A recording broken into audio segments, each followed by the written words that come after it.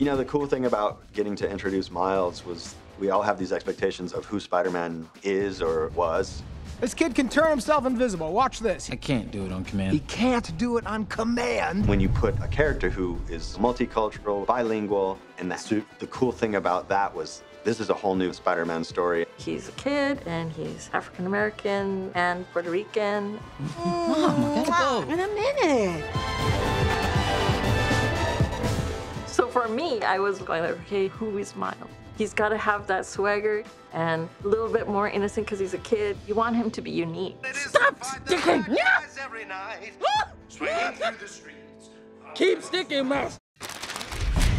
We put a lot of work into Gwen and thinking about her. In her design, one of the things that we wanted was a character who was strong. We didn't want her to be too waifish or too thin. We wanted her to be physically strong, mentally strong, because in the movie, the character is actually maybe the most accomplished Spider-Man at that moment. She's a little older than Miles. She's been a Spider person for a couple of years. She's really in her prime.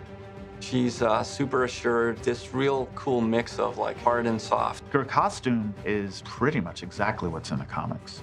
She had a ballet background, but she has that muscle memory that she can call on and use as a skill. It's her style of fighting.